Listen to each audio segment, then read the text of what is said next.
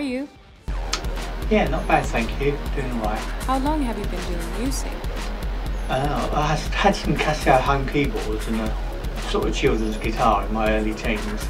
I didn't really start writing songs and, and doing demos and things like that for record companies till my early 20s, so um, quite late, I suppose, compared to some artists. Nice studio you have now. What did you start out with? After hearing Blue Monday, I really, really wanted to get uh, myself a drum machine and a synthesizer. I used to earn about £32 a week, and I gave my mum a tenner for keep, and I used to save £10 a week for a synth, so the rest went on clothes and records and drinks and you know, things like that. 30 weeks later, I bought myself a Casio CZ101. It, it could only play four notes at a time, but I was absolutely made up with it. It was brilliant. And in 1985, the Spectrum came out, and so then I had the synth and the drum machine at last. And then I found out the Atari ST um, had its own built-in MIDI. So that's when I started getting a lot of depth, you know. The Roland TR 505 came out in 86. I remember having one of those. It wasn't really until I bought a Tascam Portastudio, the 488, I could really start properly recording songs and building up tracks properly. Before that, I just used to sing and play guitar in straight with, along with the sequencer and drum machine onto a cassette tape, you know, just in one take. So it wasn't very good. What songs and artists inspired you over the years? And Blue Monday by New Order was like life changing for me. I mean, I always loved music before that, but since that song came out, I, it really made me want to get into music.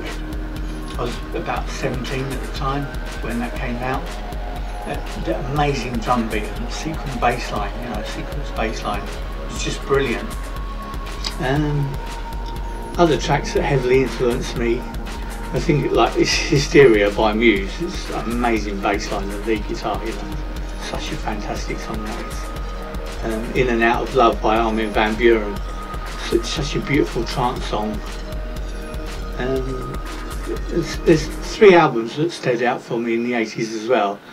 Computer World by Kraftwerk, which was 1981 that came out. Movement by New Order, that was also in 1981 and The Hurting by Tears for Fears in 1983. And those three albums, I mean, it's got some brilliant songs on them, really great songs. I still listen to them now. What do you hate about the music industry? Uh, it's a phenomenal pressure, especially when you're young, to be popular. Someone once told me to change my style of music. It's like, how arrogant is that? And how ignorant as well. To think you can just change your style of music and suddenly everyone will love you, you know, and put you on on the radio and that is just so ridiculous. And people just enjoy what they enjoy themselves, you know. I mean, if everyone had the same taste in music as me, New Order would be the best-selling band ever. And the Beatles would never have sold a single song or had a single stream or whatever, you know. I've got nothing against the Beatles. It's just, you know, it's not my cup of tea. It's not the sort of music I like, you know. But people just en- enjoy what they enjoy, like, you know. In, like, change your style of music and you just get sick of music and give up, you know. And there really is no one style of music that can make people like you, you know, that attitude that, you know, if you're not number one, if you're not outdoing other people and that sort of thing, that you're not enough, you know. I mean, that's why there's so many problems in the world. I mean, it's quite pathetic, really. Also, there are some really nasty people who can take advantage of you in the music industry as well, especially when you're young and naive, sort of thing, you know. I remember one record label it, said they loved my music, you know, one of my songs, and it was ideal for their upcoming CD compilation that they were going to release. But I'd have to pay for the recording in the studio and some of the expenses towards the release. But I, you know, I didn't think for a minute that it was a scam or anything.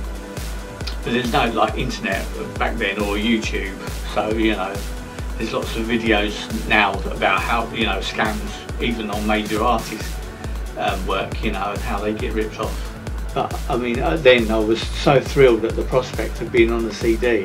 I went ahead with it, you know, had my day in the studio, get waiting and waiting for a release date, you know, contacting them, waiting, waiting all the time.